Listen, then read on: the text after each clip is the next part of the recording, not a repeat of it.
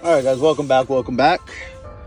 Working on another Cascadia, doing a camera. So, I'm only doing this video because I couldn't find anything online specifically for a Cascadia. This is my way, how I'm doing it. This is the Smart Witness camera. And we opted for having the, this one faces outside. This one faces on your dash outside to record the outside. And we opted to get the extra accessory that faces towards the inside, towards the driver. So it's the camera facing out, camera facing in. It comes with your harness. Then I believe it didn't come with any any instructions at all, but I'm pretty sure this is another accessory. Maybe a microphone. We're not using it. And then it also comes with this little converter.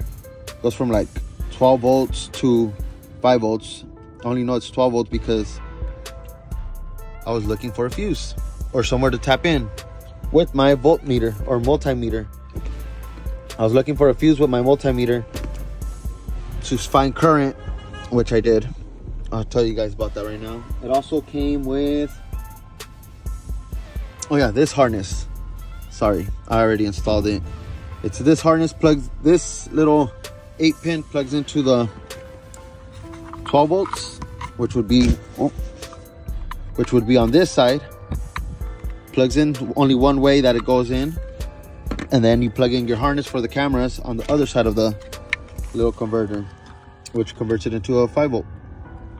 That's only a 6 pin. Only one way in, one way out.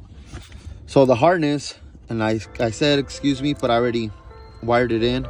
The harness comes with two fuses. Comes with all kinds of alarms and something else like alarm in, alarm out. I'm not sure what that's all about. This is the way I did it. I did the ground, tapped it into some metal with the self tapping. On the direct power or constant power, I found a fuse, an ATM fuse. I didn't want to cut into the harness. So that's why I went this route. I got these little adapters off of Amazon. They're ATM like fuse splicers or ATM fuse adapter, something like that. I'll put it in the description which one it is.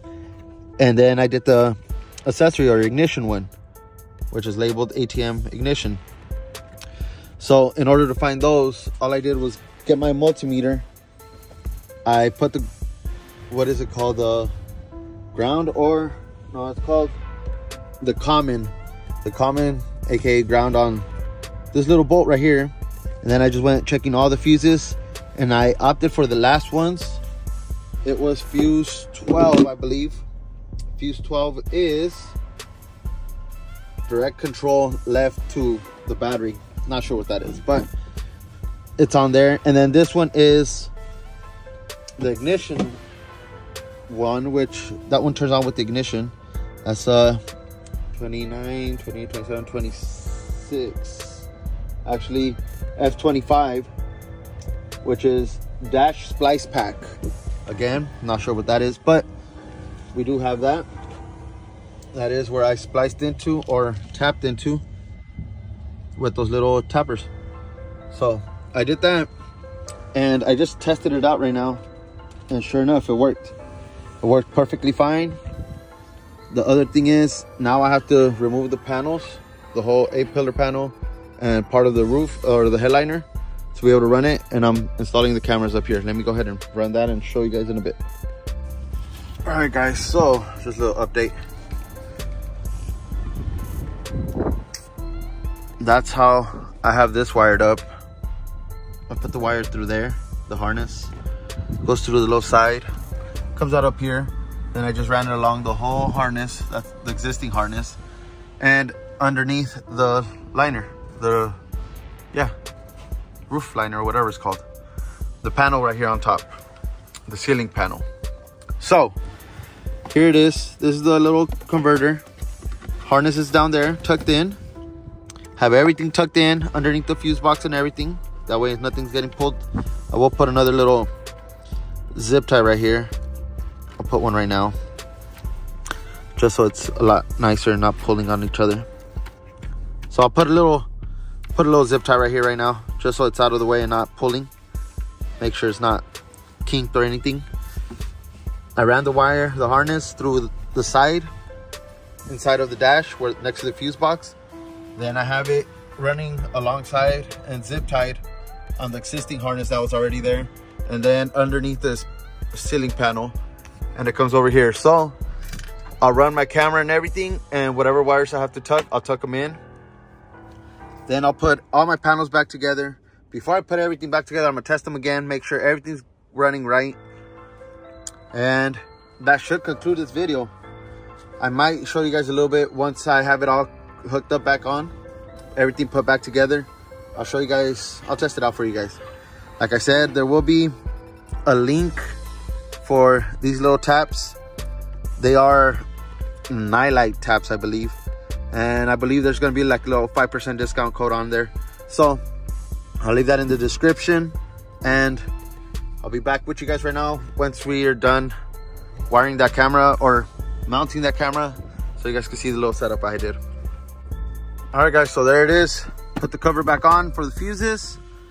Harness is out of the way. Don't forget, it has a on off switch on there to turn it on. Switch it on to the on position, I mean. Put all the panels back on already. Ran the wires on the underneath the panel right there put this camera facing forward. This is the original camera I had on there. And then the camera facing the drivers. Tuck the wires in as much as possible. Let's go ahead and let me switch that over. Let me switch it to the on position. There's on right there. Let's see if it works. I'll go ahead and put the fuse back on right now. The fuse cover. Or the the glove box back on. But let's see. We switch it on.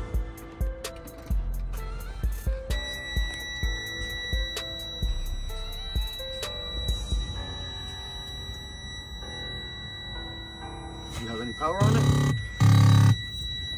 Uh, yes we do have power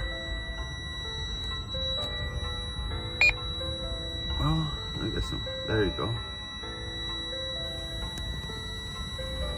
There it is. We do have power on it. It's recording. So yeah, guys, that's basically it. That's how you wire a smart witness camera onto your Cascadia directly to the fuses. Like I said, I'll leave a link for the little tabs, the little uh, infuse. I forgot what they're called. These are from Nilight. I will be leaving a little discount code that helped me out. It was like a 5% discount code. But yeah, let me know what else guys. This was just off the top. Like i said last minute video. I'll be posting more random stuff like this. And don't forget to like. Oh that's gonna be it for this video. Don't forget to comment like share subscribe and help me out we're growing little by little i appreciate the support so far appreciate you guys y'all have a good one be safe. Till next time. Peace.